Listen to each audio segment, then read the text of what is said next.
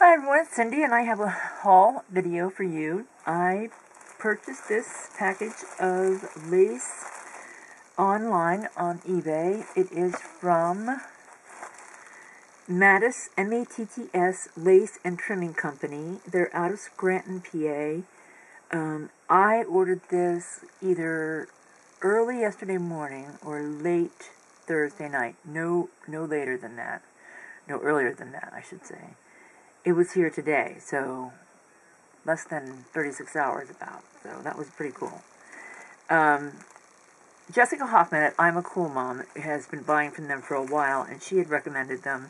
And I kept putting it off because I really didn't have a ton of need for lace because I don't didn't have a sewing machine, and so I put it off and put it off, and finally I made the order. And it says that the pieces are um, 12 inches to a yard and that's looks like what they are.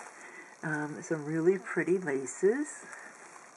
Um, I don't know how well they're going to show up without me doing something special, but and I really didn't plan to show them in detail. I just wanted you to see um, that there's all colors and styles and um, widths and um, yeah, just about everything. Lots of Chantilly lace, of course, but there's a pretty one.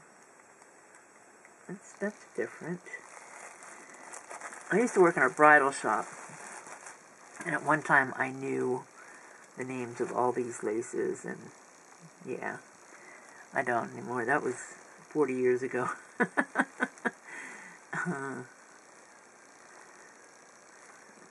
but yeah, lots of lots of pretty, pretty, pretties, and this will give me a lot of play with, along with the stuff I've been given in several um, Happy Mails recently. I've got quite a collection now.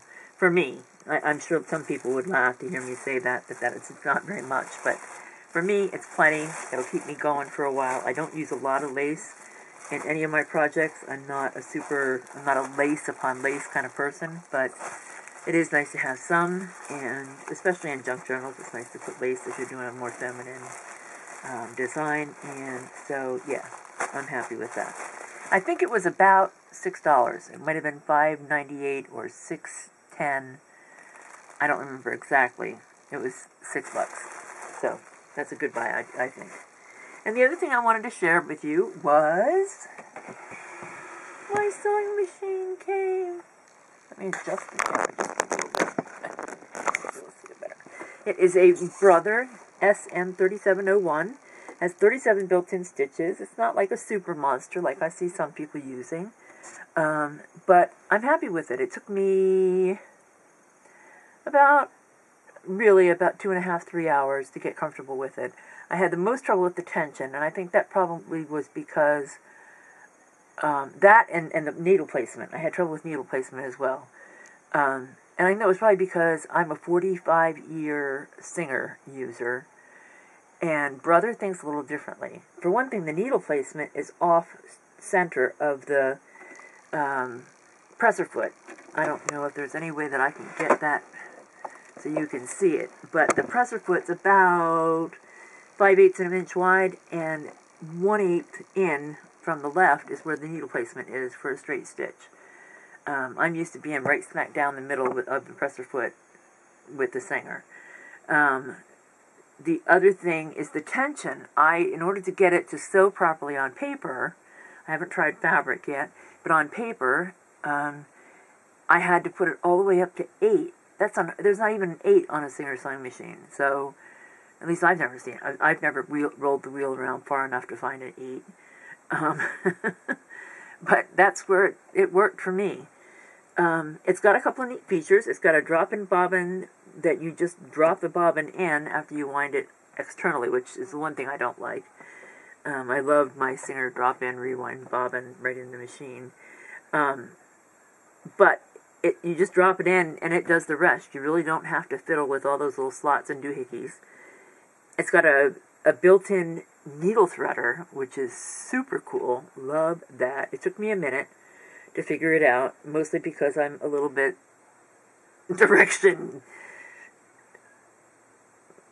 uh, clueless.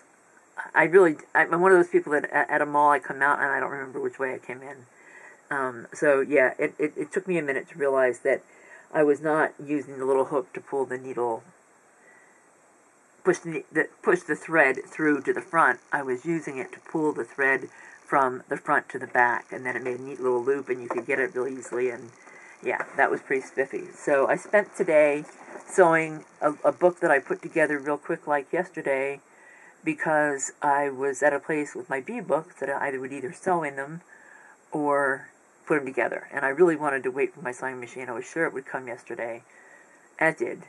But in the meantime, I had started those books, that other book, so I finished that. It's that's a prayer journal, and it's almost finished. I really just have to um, stitch it together, and so that'll be ready to show probably tomorrow.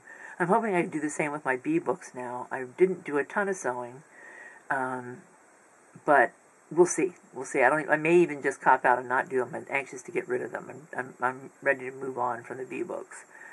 Five B, five, six, six bee books later, and I'm I'm ready to call Uncle for a while. As much as I loved them, so and you'll be seeing them in the next 48 hours or so, and then they'll be listed in my shop.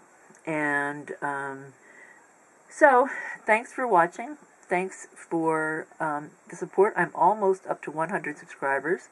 I think I'm at 96, maybe 97. Somebody joined the other day, and I don't remember it was 96 or 97.